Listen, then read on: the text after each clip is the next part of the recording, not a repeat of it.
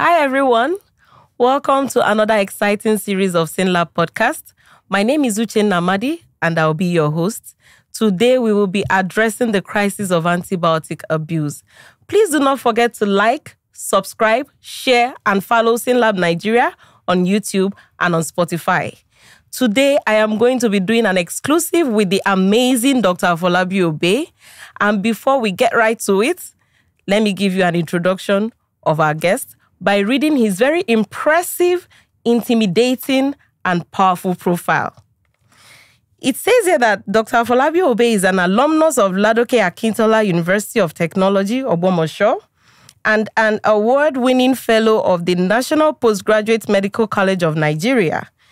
Dr. Afolabi Obe is a result-oriented pathologist with expertise in management of medical diagnostic laboratory, infection prevention and control, management of infectious disease outbreaks, and biological risk management. It is already looking amazing.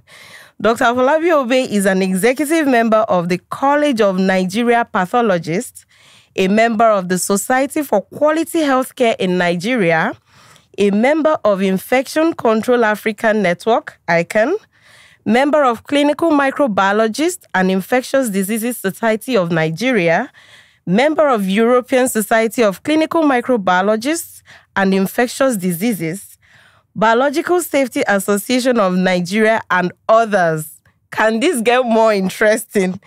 Dr. Afolabi is currently the Chief Medical Officer of SynLab Nigeria with the responsibility of leading the medical strategy, supporting and coordinating a sustainable, responsive diagnostic network with the aim of achieving the company's mission.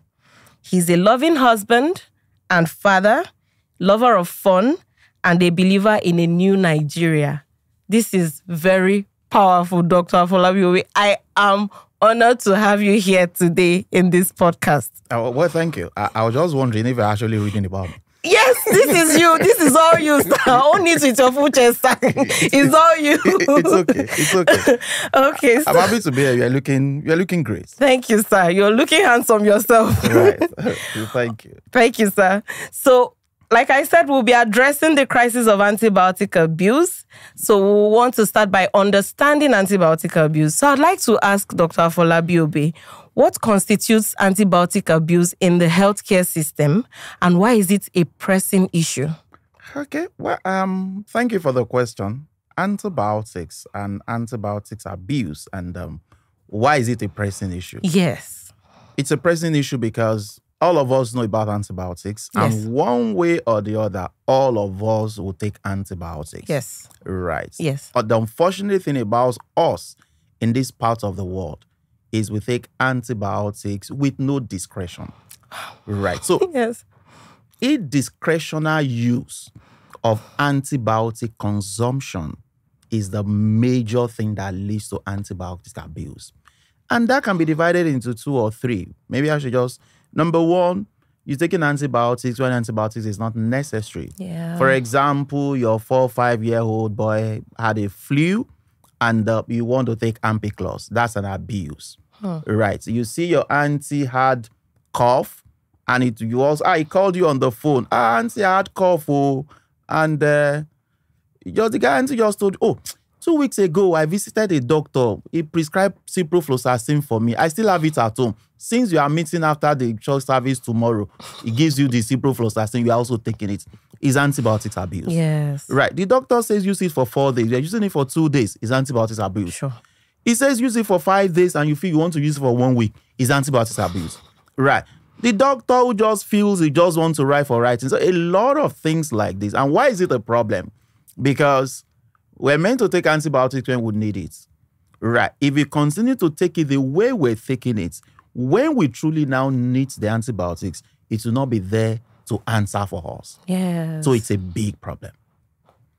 Wow. So it's there are different ways you can actually abuse this by A lot of shortening the time, Yes. lengthening the time, and taking what you're not supposed to take. Taking what you're not supposed to take. Yes. Okay, so I'd like to um, dive right in by asking what are the root causes of this antibiotic abuse? Root cause, I will still say indiscretional use.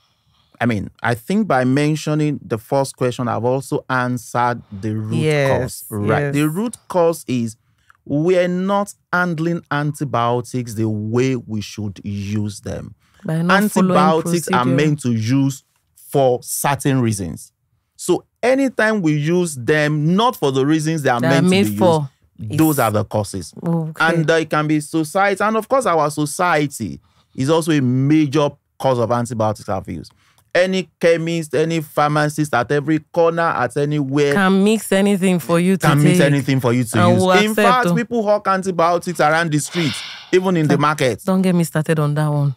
I know, see that a lot. All those The are malam, in, antibiotics. the malam in my neighborhood has sells antibiotics. Yes, You yes. know, your aunties, your brothers, your nephew, your boyfriend, your girlfriend, everybody is a doctor So- when it comes to prescribing antibiotics. Yes, I think it's a problem because it's even easily accessible because of the reason Yes. behind. Now, those are the societal factor. Then there's also the government factor constituting antibiotics abuse. Okay. No control. Our policies are there, but the willpower on the part of the government to enforce this policy. In fact, I can tell you for free, antibiotics are divided into various groups. Some mm. are meant to be reserved antibiotics that are meant to be used in certain conditions. I will surprise you that even those antibiotics, you can get it from alarm store. Is as bad as that. Yes. So all these things put together, they constitute antibiotic abuse. And I can tell you for free, it's a major problem. Yes, It I, I couldn't agree big- more. It is a big problem. Well, can you help us talk about the consequences? What are the long term or even the are there immediate consequences for this abuse? And are there long term consequences? What what are they? Well, immediate consequences is number one, when you need the antibiotics, the antibiotics will fail you mm. because the bacteria that you carry would have developed resistance to those antibiotics because you have not used them when you are supposed to use, Use them, them, yeah. or you have used them in a wrong way, either short duration, long duration, or improper dosing. So when you need them on the short time, they will not be there. The long time um, burden is that we would now build a community of bacteria that has multi-drug resistance. Oh. Right. It means that you come to the hospital with, say, pneumonia. Ordinarily, by the time you're taking augmentin for three to five days, it should respond. But because you have abused antibiotics in the past, you realize that you stay in the hospital for another two, three weeks or four weeks. Yeah. Long time burden, prolonged hospital stay. Yes. Long time burden, loss of manpower because you are meant to be in the office. You are not able to go to the office. Yes. Your brothers, your sisters are also meant to be in the office. They will come around to come and stay with you in the hospital. Right. And of course, again, you are going to be spending lots of money Just by abusing antibiotics. just by abusing antibiotics. So it has a ripple effect. yes. And that's why I feel this that. topic, it's um, I think it's just a good time to have this yes, conversation. I couldn't agree more.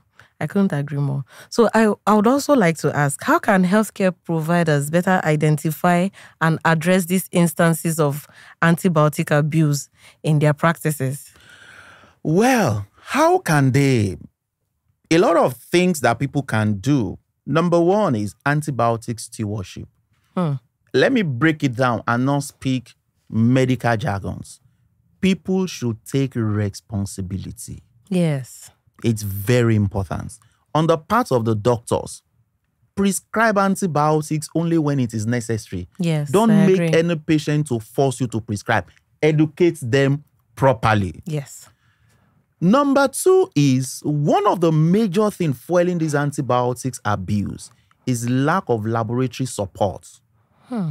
How so? How so? because you are meant to test Okay. whether the antibiotics you are going to use will be will be would be good for that reason. Okay. And so you take the sample to the lab, the lab will text for you, and then they will tell you, oh, it is sensitive, oh, it is resistant. Yeah. Then you are using the right antibiotic. But then there is no laboratory support. So the hospital or the healthcare settings should also make sure that there is quality laboratory support. Yes. And then affordability and accessibility. These are the things that could help the healthcare system, you know, to hmm. fight antibiotic abuse. Wow. This has been very educative. we've not even started and it's already sounding like this. Well, it's, it's actually a very it's it's actually a it's very a very interesting, interesting topic, topic, because really. a lot of us are guilty yes, a lot this. of us are guilty, and of course, either directly or indirectly, our brothers and sisters, people around us, they use antibiotics. Thank you very much, Dr. Folabi. So, to my listeners out there, have you learned anything? Please let me know in the comments. Because for me, I feel like if the doctor has not prescribed, I should I have no business going to buy and take. If they've told me to do it for five days, I have no business doing for lesser time or for more than five days. Please do not forget to like, subscribe, share, and follow SynLab Nigeria on YouTube and Spotify. Don't go anywhere. We'll be right back.